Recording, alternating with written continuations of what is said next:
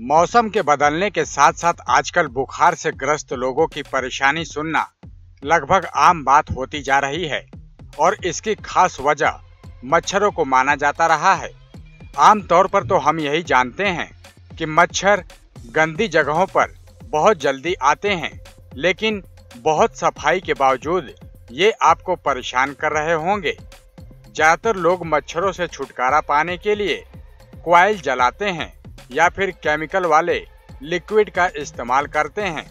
मच्छरों से परेशान होकर हर कोई तरह तरह के केमिकल प्रोडक्ट का इस्तेमाल करता है, जो मच्छर तो बेशक भगा देता है, लेकिन आपके स्वास्थ्य पर उससे ज़्यादा असर डालता है।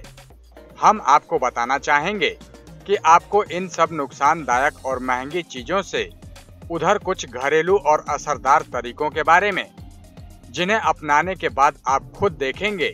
कि किस तरह से सारे मच्छर गायब हो जाएँगे। सबसे पहले आपको बता दें कि मच्छरों को लौंग और नारियल के तेल की खुशबू जरा भी पसंद नहीं आती है, जिसका आप पूरा फ़ायदा उठा सकते हैं।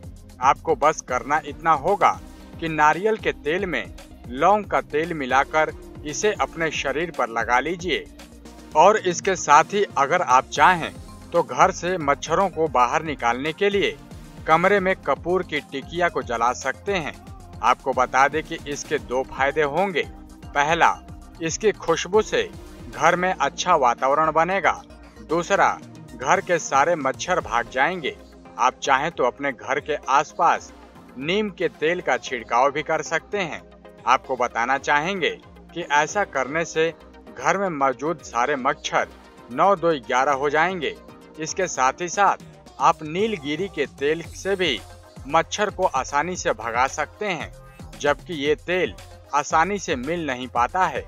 लेकिन जहाँ भी उपलब्ध हो सके, मच्छर भगाने के लिए ये बहुत ही कारगर साबित होता है।